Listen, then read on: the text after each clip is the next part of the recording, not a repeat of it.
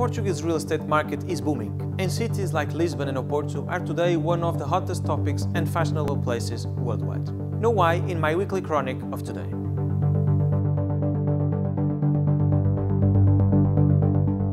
Real estate investment in Iberia is booming due to several reasons, from geographical and socio-economical causes to tax and legal incentives added to a consolidated annual growth of investment and transactions of the last four years. And not forgetting the motivating yields, the high valuation of the assets and the good expectation of return made that Portugal and Spain become countries under the attention of all investors in the world. Portugal and its cities in particular are currently in the target of several investors all over the globe, from US or Brazil, throughout Europe and Africa, to China, Russia and Arabic countries. Under this matter, I must point out the fact that the total amount of investments made in all sectors of the Portuguese real estate market in the last year reached an impressive amount of 21.7 billion euros of investment, which represents an increase of 20% per year and an incredible increase of 60% since 2014.